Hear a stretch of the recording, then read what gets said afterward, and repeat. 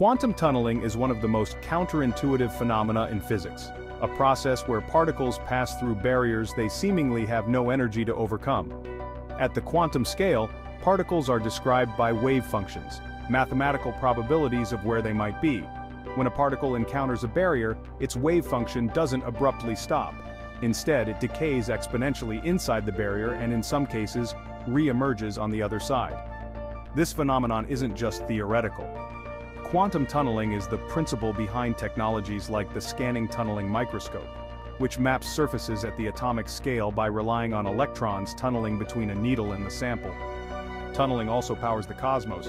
In stars, nuclear fusion requires hydrogen nuclei to overcome immense repulsive forces.